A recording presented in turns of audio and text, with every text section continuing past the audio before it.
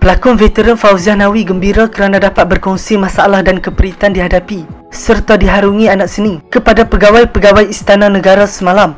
Sebelum kita lanjutkan kepada anda yang belum lagi subscribe, apa kata anda subscribe dan tekan butang loceng untuk notifikasi video selanjutnya.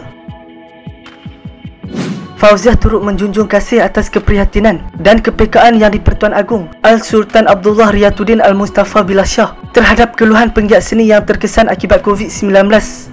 Menerusi Instagramnya, Alhamdulillah atas titah perkenan ke bawah duli Yang Maha Mulia Seri Paduka Baginda. Patik bersama beberapa rakan seperjuangan dapat untuk bertemu dengan pegawai-pegawai Istana Negara pada pagi hari ini.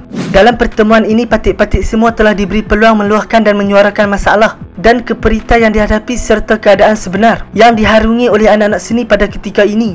Patik-patik semua juga telah memberi beberapa pandangan dan cadangan supaya anak-anak seni tanpa mengira cabang seni yang kami ceburi khususnya supaya diberi kelonggaran dengan ketetapan SOP untuk bekerja mencari rezeki demi kelangsungan hidup kami dan keluarga-keluarga kami. Orang macam kami ada kerja ada gaji, tidak ada kerja tak ada gaji. Sejak penularan wabak COVID-19 dan pelaksanaan PKP, anak-anak seni tidak terkecuali dari tekanan ekonomi.